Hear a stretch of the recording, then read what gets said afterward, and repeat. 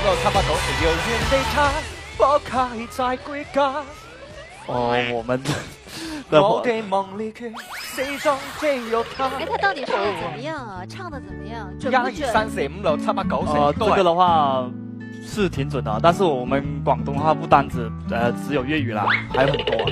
所以你你是不讲粤语的，你哦，对，我是呃客家人，讲客家话，啊所以我刚才那一段就是其实很尴尬，是不是？也不是很尴尬。不经。常会看 TVB，也唱的挺好听的了。哎所以啊，，那你我我我只是很好奇，就是刚刚他说是粤语嘛，请你再说一下，一二三四五六七八九十，如果用客家话说一二三四五六七八九十是什么样子的？一、二、三、四、五、六、七、八、九、十。哦，好像有细微的差别。对对对好像就更是更内敛一点。对，我们广东的话它是有三大语言的嘛。哎，呃，一个是潮汕嘛，潮汕话，还有一个客家嘛，客家话话，还有一个就是粤语啦。粤语，四号妈妈说她要学学一下客家，一二三四五六七八，哎哎，四号妈妈你学一下四，号阿姨是我今天，要学学一下，对，四号阿姨是湖湖南人，您先用湖南话说一个一二三四五六七八九十，好不好？一二三四五六七八九十，你看这还是有点一二三，四五六七八九十，那我我们再来一遍客家话教一下阿姨，一、二、三、四、嗯。就就说到一二三四五吧。一二三四，你啊，有点啊，还重点就是把那是个你还是可以的，说对了，是吧对？对对，还是所以不错的。哎呀，很有意思，很有意思，客家话多学学。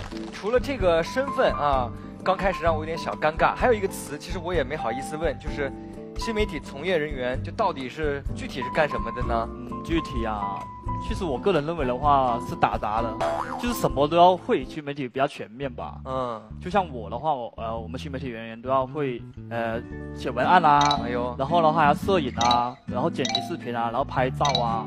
有时候呢，呃，还要一些创作，还有一些抖音上的创作啊。那和我们导演可是异曲同工之妙啊，差不多，差不多。干的事儿也差不多啊。现在要发抖音吗？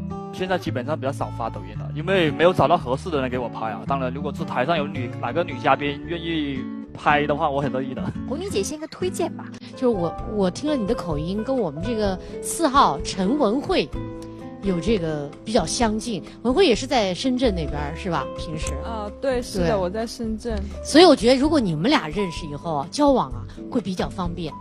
嗯，你是不喜欢特别远的吧？深圳很近啊，哪里啊，对呀、所以我觉得这个可以吗？现在交通那么方便，国外都可以了。应该蛮合适哦。好，有问题吗？第一眼印象之后，你呢？我们先做第一眼缘分的打分吧，看看各位对他的印象怎么样，好不好？有缘相见，请打分。我有点喜欢你，喜欢你，有点喜欢好，还有阿姨们也要打出你们的第一印象分，来，请打分。哦，我看到女生这次除了一号之外，后面四个七分儿，看一下，看一下。哇，好有默契哦！哎，我们看到两个七分儿，两个六分儿，一个八分儿。问一下我们就问一下最高分吧，好不好？五号阿姨八分儿。我觉得你挺阳光的，挺挺上进的。可以谢谢阿姨，谢谢阿姨。什么都会点儿那种感觉是吧？我问一下四号阿姨啊，这一轮打了六分儿，因为我打这个婚，我们也对他一个全面的了解。你等一下升级的了解以后呀，我再给她打一个固定的分。女还保留生了一件这边一号给的分是最低的啊。我觉得他离我比较远吧，因为我在南京发展嘛。哎呀，南京菜吃惯吗？南京离广东其实还算近的，比啊天津要近。近吗？对比我说比天津要近，还有俩啊天津的。丢脸了，地理比较差。那第一眼印象了解完了之后，除了我们五号阿姨已经完美无缺了，我们其他人还需要多加了解。来，短片了解一下。这是我的家乡惠州，一个充满烟火气的小城市。老板来一个肠粉哦，加肉哦。在广东吃早餐都是要配汤的，都吃习惯了，要喝汤的。啊，有人说年轻人的选择小城市就是选择安逸，我是不同意这个说法的。像我们刚好就是新媒体从业人员，这些都是新兴行业。哎呀，说实话，新兴行业都是因为根据市场的需求嘛，不管是做电商、做短视频、做什么，都是要做内容，就是相通嘛，其实就是做内容嘛。刷抖音、刷微博、刷头条，运营直播艺人，就是我的日常工作。最近那个直播数据啊大幅下跌啊，要看一下到底是什么原因啊。可能在你们眼里，直播艺人是女神，可是在我的眼里，他们就是我的一个个标签跟数据。毕竟流量才是生产力嘛。新媒体行业绝对不算安逸，对年轻人热点话题，我必须时刻保持敏感。做这一行，脑洞必须要大。比如说一盘蛋炒饭很不好吃，但是呢，我会把自己想象成好几天没有吃饭，又冷又饿，带着这种脑洞去吃，你就会觉得这个蛋炒饭真香啊！呃，这个的话是我跟朋友一起开的私人影院。我觉得惠州年轻人呢，缺少一个比较有年轻化的一个娱乐呃场所。这个拍照堂是专门给客人拍照的，有很多女生都是喜欢这种呃粉粉的，还有这个粉红豹，他们就会来这里都会跟朋友这样子一起拍照，当做一个纪念这样子的一个东西。我平时的话是不太常来店里面的，但是有些客人的话，他要搞生日啊，或者是求婚告白的，这时候就需要我的一个呃布置和策划。呃，这个的话，房间主题房都是我设计的，呃，这里面的灯串，还有这个碟子，还有这个呃。网红秋千，这个墙纸都是我叠的。呃，我们是五姐弟，我上面有大姐、二姐、三姐，还有个弟弟。像我大姐、二姐的话，她们已经嫁出去了，所以都搬出去了。然后的话，我三姐嘛，她是在广州上班，我弟呢是在深圳上班。啊，现在的话，呃，是我跟我爸妈在家里，呃，一起住了。妈，今天吃什么？鸡肉鸡虾。菜咯，有没有汤啊？啊，煮点汤，什么汤啊？煮肉煮菜汤。呃，我爸妈是很典型的客家人，为我们这几个孩子付出了很多。但恋爱、结婚的话题，我还是更愿意跟姐姐们聊。之前我那些。呃，恋爱的荒唐事，我姐姐他们都知道。呃，我弟弟呢，他是对事业还有对家庭呢，是一个非常认真、有责任心的一个人。他还是蛮细心、蛮浪漫的一个人。而且我以前发现他还给女生做便当呢。啊，在场的小姐姐对他感兴趣的话，不要犹豫哦。在恋爱里，我一直比较情绪化，喜欢谁，我就会很快亮出自己的全部底牌。结果通常都很惨。我觉得恋爱就是一场冒险，我愿意冒险。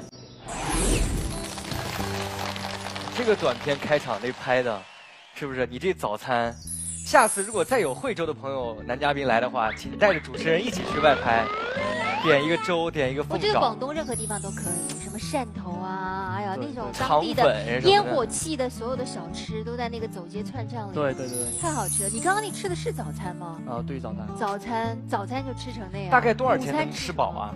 二三十块钱肯定可以了。二三十块钱豪华套餐哦。吃饱了之后，就是你这一天也挺丰富的。首先，你那个工作是在一个，哎，好多网红的是那种直播的小房间，是吧？啊，对。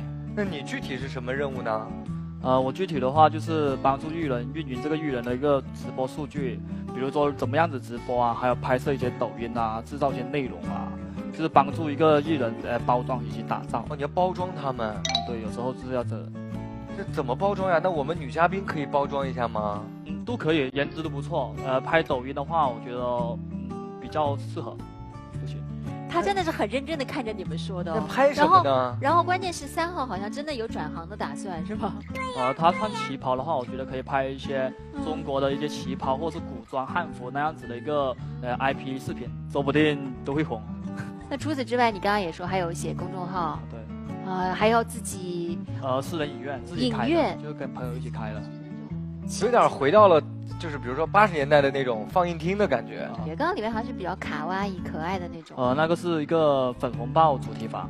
三号，三号。您从事这个行业的话，除此以外，您的这个兴趣方面肯定也有嘛，对吧？就是说自己的才艺方面有吗？你说唱歌跳舞的话，我就不行了。但是你说拍那些搞笑段子啊，拍搞笑视频，记日记录日常生活的话，呃，我就经常有去拍一些抖音的。志豪阿姨，你喜欢去创业？创业对于一个年轻人来讲，是一年轻人的时候是一种很好的竞争。不管你成功还是失败，那就是这句竞争是实在扎实。你看看，总结了，你坚韧的啊！谢谢阿姨的。阿姨，我问问，就是他开了一个私人电影院，就是那种有个房间，里面全是粉红色，很少女，你可以去跟一帮就是姐妹们一起去看电影你会去吗？就不用去电影院，喝个茶什么的。我会去啊，可以去一下啊，因为我最喜欢这种文艺化的。很有那个艺术生活的年轻人。我女儿带我经常去看那个杀迪斯的电影啊。我第一次去接受的时候，她说：“妈妈，今天晚上带你去看电影。”嗯。我说：“电影有什么好看的？家里面就电视看看就可以了。”她说：“带你去尝试一下吧。”第一次带我带我去看的，我那个孙子也去了嘛。他说：“满足一下我孙子的愿望，看一个《熊出没》。”那个内容我肯定是不喜欢看，但是看那个场景。那个场景，那个好像身处其境的感觉。啊！人看了这一次之后，是上了瘾了。他回来一次带我去看电影吧，我们就每次每次去看，就这样，呃，体会了那个接受这个新的东西。哎呦，太好了！四号也特别优秀啊，带着妈妈一起去看电影啊。刚刚在 VCR 里面有看到说，就是你的兄弟姐妹很多嘛，然后我在想，你有没有，你有没有想过，就是以后如果结婚的话，你会想过想要几个小孩？一两个就可以了。其实。我不像，呃，老一辈那么传统，一定要生个男孩，不，但是你，那你的父母不会对你的小孩，就是你生几个小孩会不会有建议吗？啊，我会说说服他们，所以他们还是有建议让你多生一点，对吧？就我特别好奇，就为什么他们，就我我觉得客家人就对我的刻板印象就是他们的兄弟姐妹普遍都是存在都是比较多的。其实我们家也不算多啊，像我姐的同学，他们家十个，十个，十个人。那是生到第几个才生出儿子的？呃，第九个。那你又是弟弟，就你上面有三个姐姐，你父母会不会对你的姐姐和你区别对待？应该会更疼你吧。不会区别对待我爸妈的话，就比如说早上吃鸡蛋的时候，不会说哎给你两个，然后姐姐只有一个这样子吗？姐姐，你吃鸡蛋吗？姐姐吃鸡蛋。这个没有，这个没有。他是担心对姐姐。这个没有，都是平均对待。我们家里的话虽然说生的多，但是的话都是平均对待的。但是说真的，你们要生这么多，会不会在择偶的时候，对方会觉得家里有个男孩子，而觉得压力特别特别的大？你知道我为什么会这么问？因为我们这里有一个女嘉宾。她家里也是有三个孩子，然后有一个弟弟。她曾经有一任男朋友跟她分手，就因为她有一个弟弟，对吧？你不会介意女生家里有一个弟弟，因为本来你们家也是这样。很正常啊，这谁都有弟弟妹妹啊。嗯，谢谢。呃，其实我觉得你们有一个误解吧，那个是老一辈的思想。我们新青年一代年轻的一代人的话，从来没有这种思想，就是觉得啊，都是。呃，男女平等，也不是说一定要生个男孩。所以你觉得，如果以后生两个女儿也是可以的，对吧？对。这是观点性在年轻一代身上的一个很大的改转变。不管是在他们那个地方，在我们每一个城市都有这一点。拿我来说吧，我就是生两个女儿，当时很不情愿。后来慢慢的、慢慢的，看女儿长大了，有成就了，这个时候我才华丽的把以前的心病放下来。华丽的把之前的那个换下来，是吧？这阿姨太诚实了，她用自己的例子来证明了，觉得以前的观点真的可笑，是吧？真的不对啊！因为现在的小孩嘛，培养的质量会达到一定的标准，他们自然而然的会放弃一些手生优势嘛，他们负担不起来嘛。就是孩子生几个，你们觉得比较好？我觉得那现在来说，最多生两个可以了，不管是男是女。一号阿姨有不同意见啊。是的，我是觉得孩子不是说养多与少的问题，是教育的质量问题。我们下一代不能和上一代去相提并论了。我觉得我就是说尊重孩子。如果说选择是一个就是一个，两个就两，看他的自身能力和条件去培养。不能是说那个笼统的敢说两个三个的去培养，不是的。我们认准的是教育知识，把孩子更带上更好的一代。我们问问一号啊，个数的话，觉得两个最多了吧？觉得说，在我力所能及范围内，我要给我的孩子最好的教育跟资源。我看夏老师举麦了，你是想到什么了吗？啊，对，我是想说，第一个呢，在心理学家角度，我是赞成生一个以上，因为两个呢，第一个多个伴，他心里不会孤单；第二个呢，因为有两个可以有个小型的人际社会，他小时候就学会可能有无形的竞争在，无形的协调在。所以对他以后长大人格的培养有很大的好处。那至于你要生三个四个，就看你经济能力了。那不过我要强调一点，因为虽然呃以前那个重男轻女越来越少，但是我现在发现社会越来越忙，有一个另外一个现象出现，就是叫丧偶式婚姻，就是有些男生呢，可能孩子生出来之后呢，他就是不管不养了。所以我觉得这个现象不好。我认为对于孩子来讲，父亲的不管你再忙，你都要抽出时间来培养。要负起养育的责任，我觉得这样子才是为给孩子带一个最好的家。很对，最好的教育一定是父母健全、完整、健康的爱给到孩子。你未来的话，就是说你成婚环节当中的话，那你会和你的父母住在一起吗？啊，这个不会的。二号，那你会去别的城市吗？就比如说离开惠州？嗯，是说生活还是？对，以后比如说以后结婚，如果如果就在外地，然后女方就想在外地生活，不想在惠州。哦，这个要看以后的经济能力。基本上还是比较呃相对就是务实的一种态度。你看你现在做的这份工作，碰到很多都是应该都是颜值还蛮高的女生。对。对呀，那你的感情世界应该还可选择的人还是应该挺多的吧？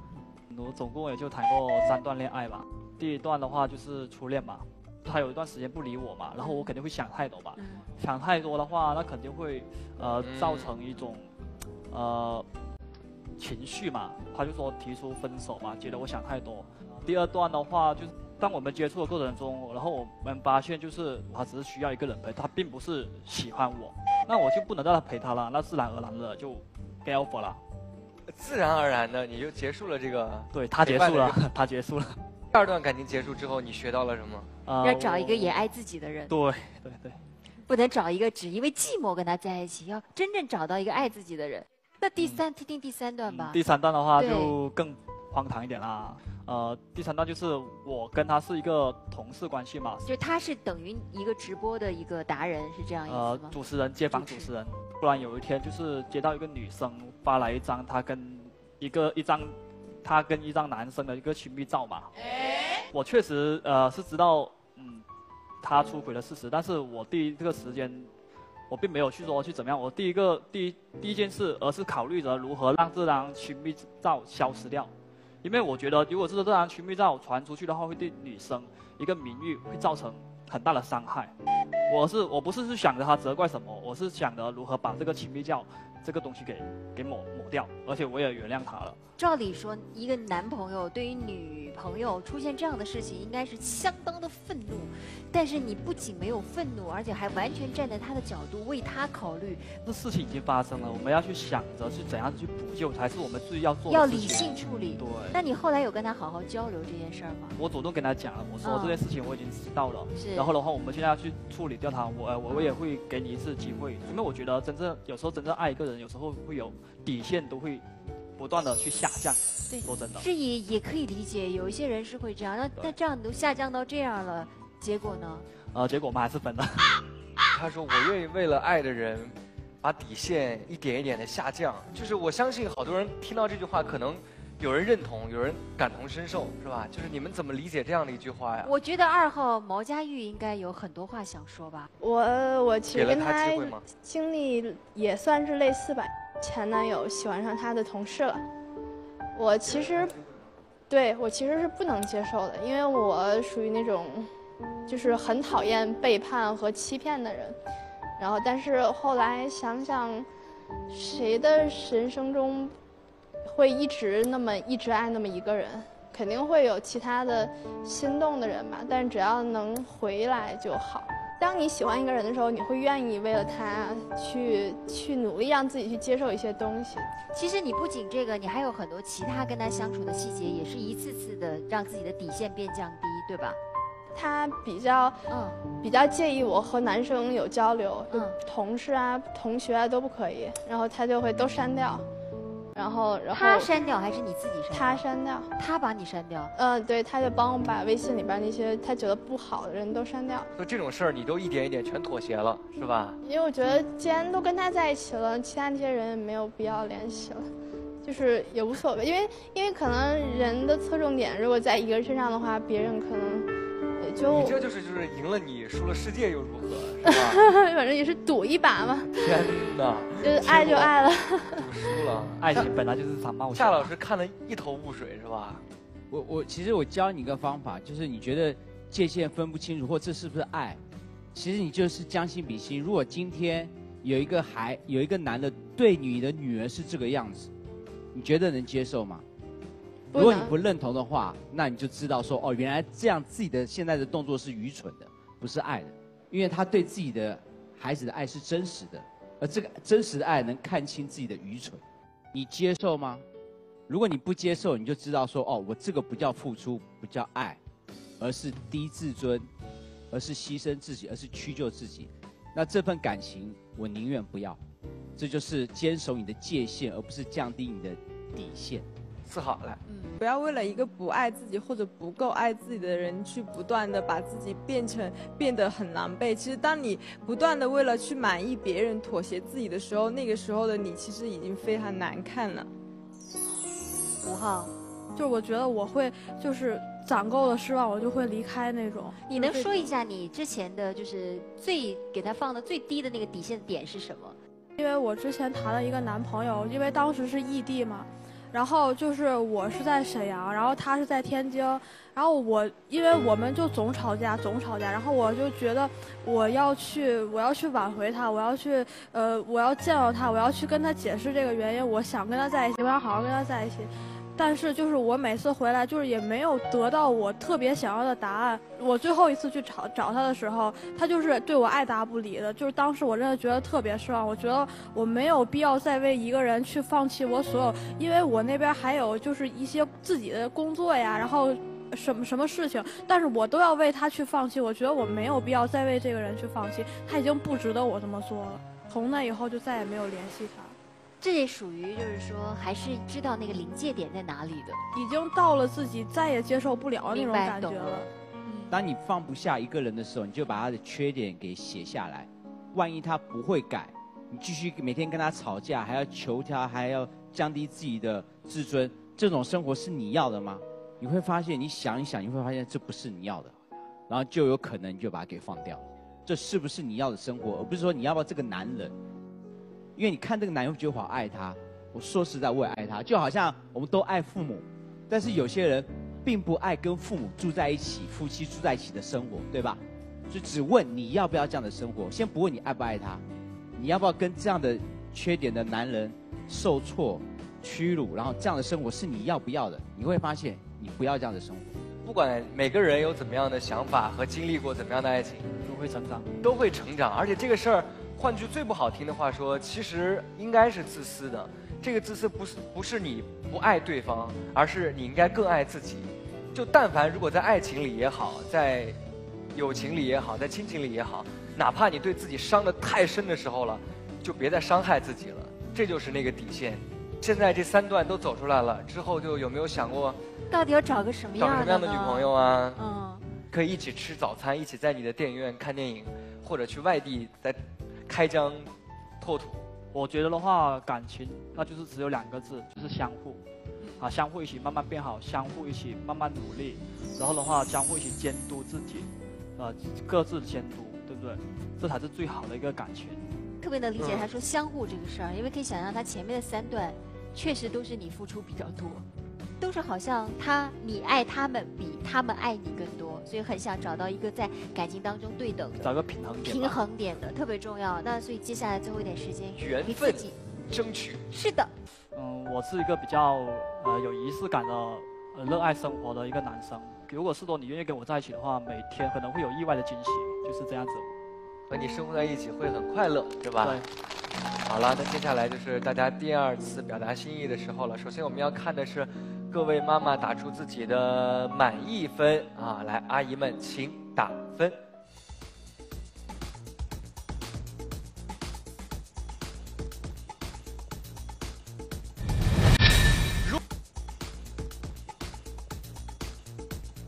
阿姨们打完分了，接下来五位女生，请考虑要不要为东亮留灯。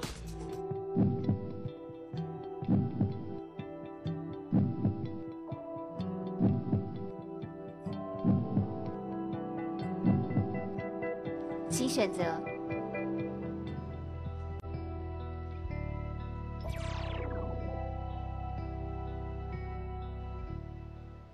哎呀，女生们没有留灯到最后的，那我们接下来要看一下阿姨们第二轮满意分究竟打了多少呢？来，请亮分。阿姨们的分数分别是七分、八分、六分、八分和七分。也就意味着没有阿姨打出十分，愿意再给你一个绿色通道去了解他们的女儿，所以，好遗憾。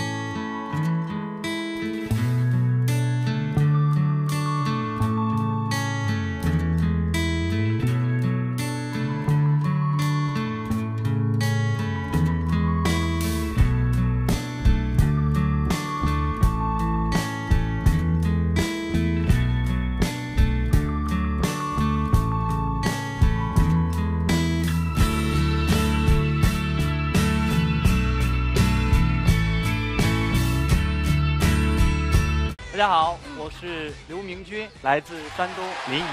哦，很久没有来圆寸的帅哥了。我觉得男嘉宾的就是形象跟我想象中的模式是真的完全不一样。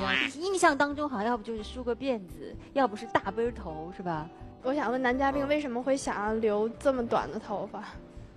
之前也是留那种嗯分头或者是短比较短一点的呃比较长一点的头发，呃想留给因为每天要弄头发要弄半小时左右那样很长时间，啊所以留给更多的时间给工作这样。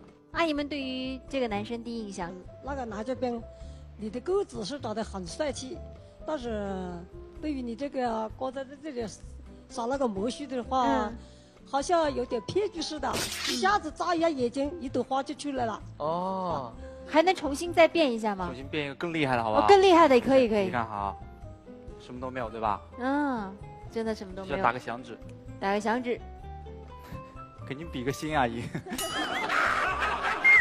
眼睛变成两颗都瞪出来星了。真的，这样白白的就能变出一朵花，真的很神奇啊！真的。哎，那你真的说魔术师这个职业，你有没有还能再变一变的近景魔术？有，今天我特地准备了一段个人非常喜欢的魔术。嗯，那我们就掌声欢迎你变一个魔术，好不好？有名字吗？有，它的名字就叫做魔速，速度的速。首先呢，请允许我给大家介绍一个风靡世界的智力玩具，在这里面，Rubik's Cube 魔术方块。世界上每一个三 D 魔方呢，大约有四千三百二十五亿种的排列组合方式，因为它有很多不同的色块、棱块。欢迎它，今天我需要用到这个，叫做快速还原机，长得呢像一个普通的袋子，只需要把这个杂乱无比的魔方放到里面去，不需要做任何动作，只需要在空气中打一个响指头。你看这个魔方就神奇般的还原了，谢谢。你这个肯定是袋子里还有一个。对呀、倒一下，倒一下。真的没有啊？你手捏住了，你手捏住了，来，对青云，给哎我呦呦呦呦拿一下呦！不太相信我，就没有就没有，谢谢。哎呀，哇，这就厉害了，你看。那个那个能捏坏，能捏坏对吧？就没有谢谢，可以。哇，可能怀疑我的这个魔方也是道具对吧？我想请现场的这请主持人检查一下好吧？检查是不是普通的魔方？看起来是哦。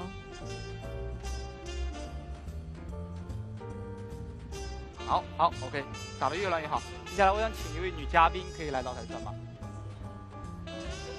？OK，好。OK，我希望你当着所有人的面，把这个魔方拧得越乱越好。对，让大家都看得到，让大家都看得到。对，乱到不能再乱为止。好了吗？你认为已经不能再乱了，很乱了对吗？OK。我再给大家验证一下快速还原机的威力。我们可以检查袋子吗？一会儿会给大家检查的。现在不能看是吗？怎么做来的？弹个响指头，重点。哎哎啊！这直接还原了。哇！为什么没有掌声呢？哇，太神奇了！对，就是没有这个魔方的话，就真的不可思议了。哇！我刚才提前准备了一个嗯还原魔方放到里面去了。OK，啊，接下来像这样子，这是你刚才打乱的那个魔方。好，不开玩笑了，真的正儿八经的来，请你把这个魔方紧紧的捂在手里。好，往前一点。好，不需要做任何移动，捂在手里就可以，大约半个小时左右的样子。Oh no！没那么长，没那么长，没那么长。刚才还原好这个魔方，我在背后尝试一下打乱。OK，差不多了。接下来会发生什么呢？只需要把这个魔方往空气当中抛，这个魔方会瞬间还原，而你手里的魔方不需要做任何动作，也会瞬息般的还原。怎么可能？看好，仔细看好，一、二。你如果耍我，后果很严重，我跟你说。OK，在魔术世界，魔术师的世界里，这样就叫还原。大家为什么好像没有一点表情？好冷哦。可能大家没有完全理解明白我的意思。嗯这个魔方有人碰过吗？还是它原来的样子，没有任何人碰过。我刚才一开始有讲过，每一个三 D 魔方大概有四千三百二十五亿种的排列组合方式，记得吗？记得吗？OK，你发现你打乱的魔方和我打乱的魔方，各位朋友们，我所谓的还原的意思一样吗？你会发现，发现有一面真的是一样的魔方颜色排列组合一模一样，一面一样已经很厉害了，但是第二面都一样，第三面、第四面、第五面、第六面完全一样，谢谢。还没有完，还没有完，你哪个手最有力气？右手最有力气，好，给你一个任务，不得了哎！检查一下这块黑色的手帕有没有任何的机关，有没有夹层、双面胶之类的东西？没有，我检查一下。哦，是是是。接下来我想请您把右手高高的举过头顶，对，举过头顶，让大家都看得到。这个魔方，仔细看好。接下来不要眨眼睛，我会在背后长时间的还原。二，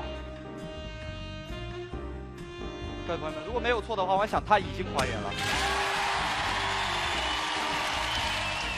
但是这还不是我想要给大家真正留爱的魔术。嗯，看这个魔方。如果你把他这个也还原了，我当场把话筒吃掉，好吧？吃吧？我当场把我话筒吃掉，好不好？我就吃这个话筒。Oh no！吃掉，吃掉，吃掉，吃掉。青玉，我给了你时间，你现在太吓人了，我打包回去吃，我真的是。这就是普通魔方，他怎么会把他拿那个黑布包起来，在他手里没有动？你说说，你被人这样变魔术，被人操控的感觉是什么样啊？我先说一下，我真的不是托，虽然不知道他怎么弄，但真的很厉害，我都看呆了。你不觉得吓人吗？你手里拿了个这样的魔方，然后盖了个布，我觉得很，他很有可能把你手也整个变没，你不觉得吗？我觉得很神奇，就很厉害啊！你可不可以把那个青鱼的钱编到我的户口里？青鱼的钱可能还不如你的钱。你掏吧，给我，给你掏吧。这样，那你最后如果一旦没有女生亮灯，你把灯都变亮，好不好？我尝试，我尽力。我们还是得送点掌声，好不好？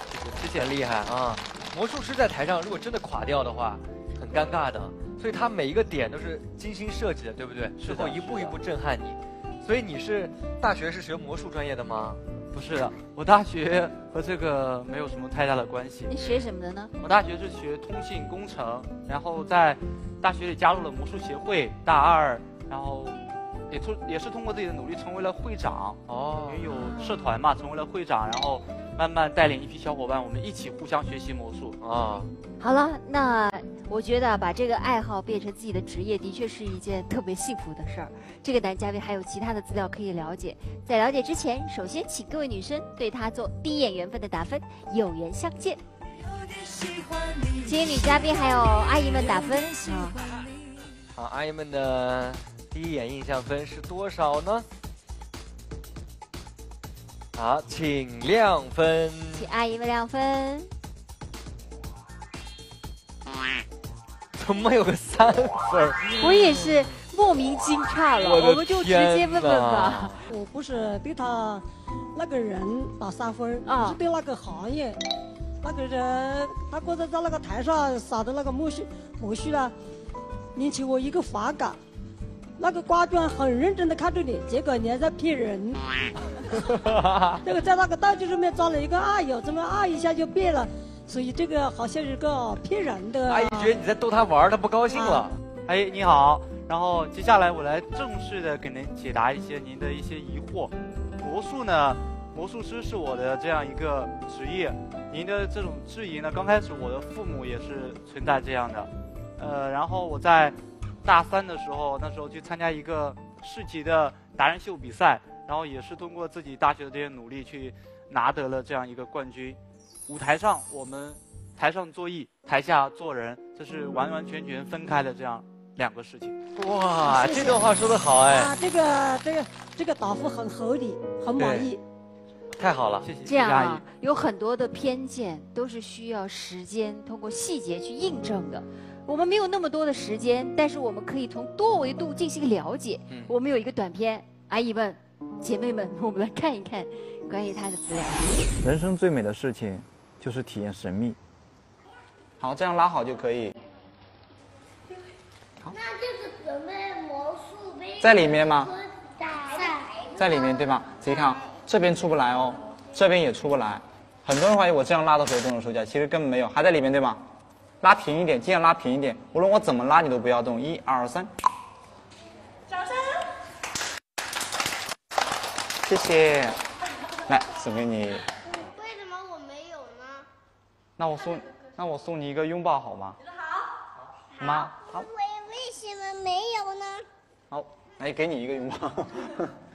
我叫刘明军，目前是一名魔术老师。通过自身的表演，让身边的孩子们获得欢乐，这是我一直所追求的。因为我曾是个内向的孩子，通过魔术，我逐渐敞开心扉，变得开朗健谈。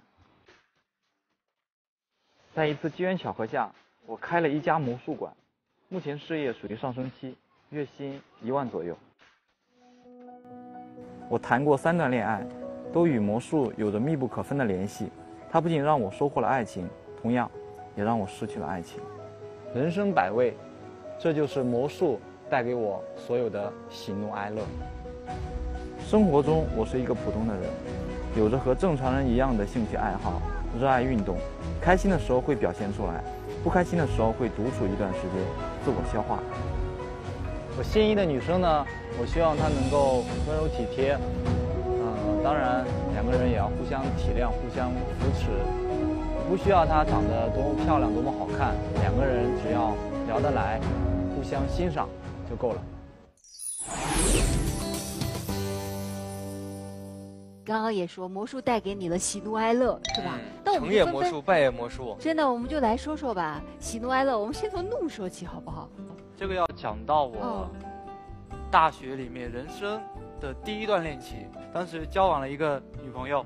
因为有时候表演魔术，练习了新的魔术，非常想给她展示，让她看一些效果，但是他就特别想要知道背后的秘密。他越想知道，我越不想让他知道；他越想知道，我就越不想让他知道。后来就有点矛盾产生，就最后就是因为矛，他想揭秘，你不想揭秘，就分手了。对，我觉得有点侵犯我的。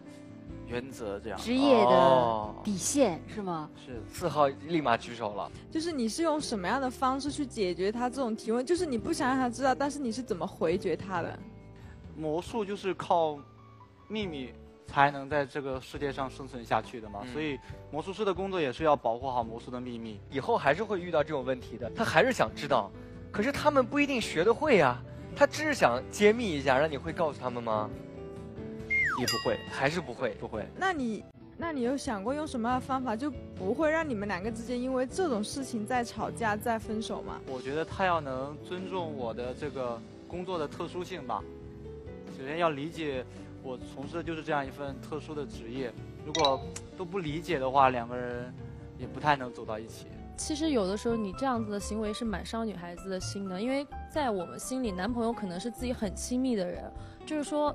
我们可能并不是想知道你的行业的秘密或者怎么样，我们是希望说，我跟你之间都有一个互相坦白，没有任何保留。只是希望我们俩之间没有秘密。对，其实我不在乎的是内容。不在意你的行内秘密或者是怎么样，我在意的不是那个东西。其实有很多行业都涉及到，除了我之外。就算我最亲的人也没有办法知道我工作的真实的一些情况。对对对，包括夏老师就心理专家，其实有一些客人的一些私密的事情。我跟你最亲的可以分享，是因为职业是有职业操守的。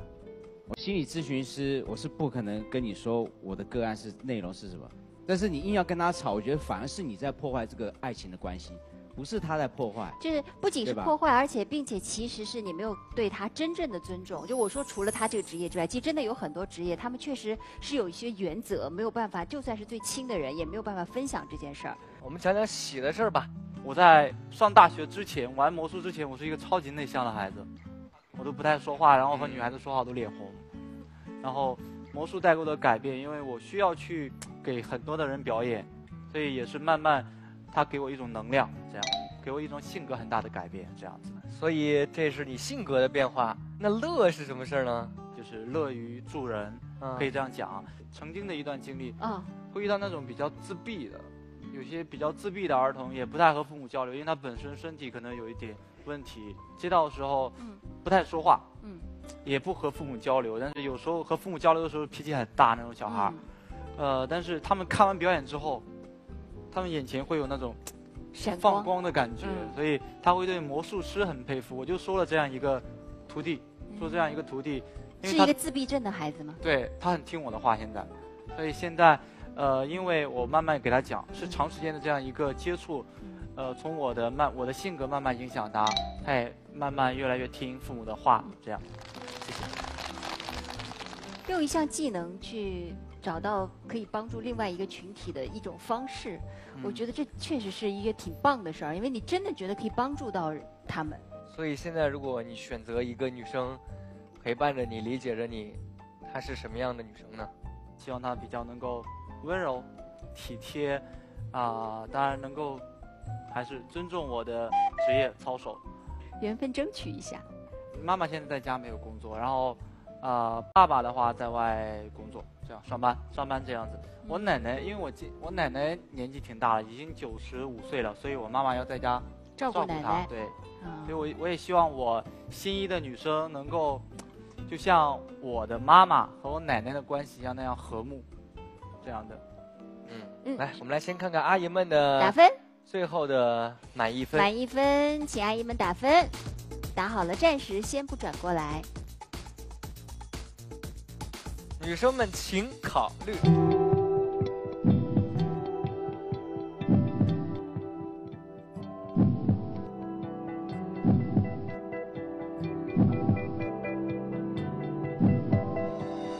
好请亮灯。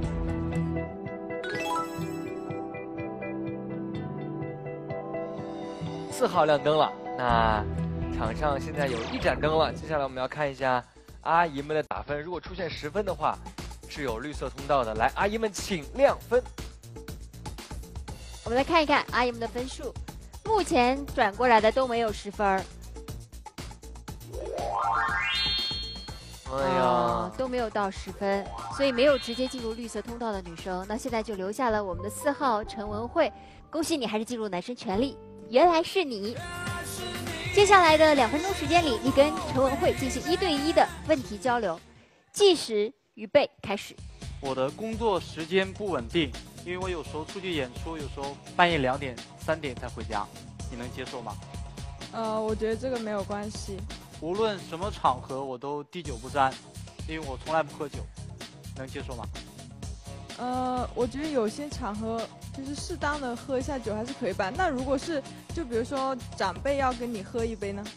呃，我也不喝，因为我因为我们湖南人是很喜欢就长辈啊那些在过节的时候是比较喜欢劝酒的，然后他一定要跟你喝一杯怎么办？呃，这个这个倒不是因为什么特殊的原因，是因为我的身体我对酒精严重过敏。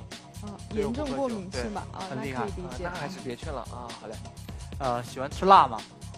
可以吃辣，可以。好，喜欢做饭吗？最拿手的菜是什么？不喜欢做饭，超级不喜欢。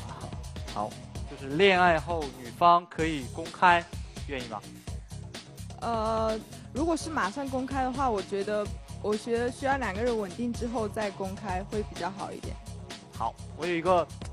不太好的小习惯，我喜欢把脏衣服攒成一一一堆之后再去洗，能接受吗？我不知道你说的攒成一堆是攒多久？一星期。一个星期。对，就那些袜子什么堆成一堆吗？袜子没有没有那么多啊，一星期也没有多多少双。呃，我有点不能接受。哦好，会比较注重节日礼物吗？呃，会吧？我觉得节日这种东西，两个人都要相互准备。好，平时喜欢运动吗？还好。愿意和父母偶尔同住吗？嗯，偶尔可以，长期不行。好，谢谢。好，时间到。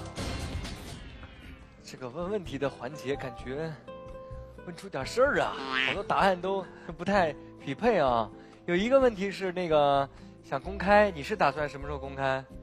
呃，和我的想法也差不多吧，稳定之后公开。我刚才想问他，因为他有时候我会不会做饭嘛？然后我是我是真的不喜欢做饭，我想问一下男嘉宾，他会做饭吗？你会做饭吗？我会做。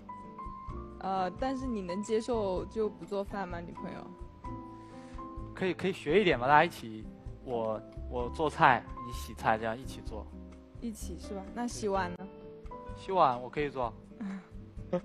收到。我发现这个事儿特别有意思的点在于，如果俩人要特别对眼的话，你聊什么都是带着那种小气泡的；但如果那种两个人要这这现在这感觉是不对了，立马变成那种我逃一一点儿，你逃一点儿，然后你逃了，我立马再追一点儿，这个很微妙啊。你亮灯的理由是什么？起码到快问快答之前对他还比较满意，对不对？嗯，我觉得男嘉宾就是。就是在很多小细节上，我觉得他非常有礼貌，还是比较有礼貌的。然后我觉得也比较有责任感，就还挺好的。就除了那个魔术的秘密不能跟女朋友说出来，但之后我也听各位老师说了之后，我觉得讲的也非常有道理。其实我也没有说一定要就是追问到底，这个这个不是重点。所以我我决定留灯啊，试一试，那就太好了啊，我们就不用瞎担心一些了啊。好，接下来你可以选择上去暗灭他。或者告诉我们你要留灯，就不用上去了，好不好？考虑一下。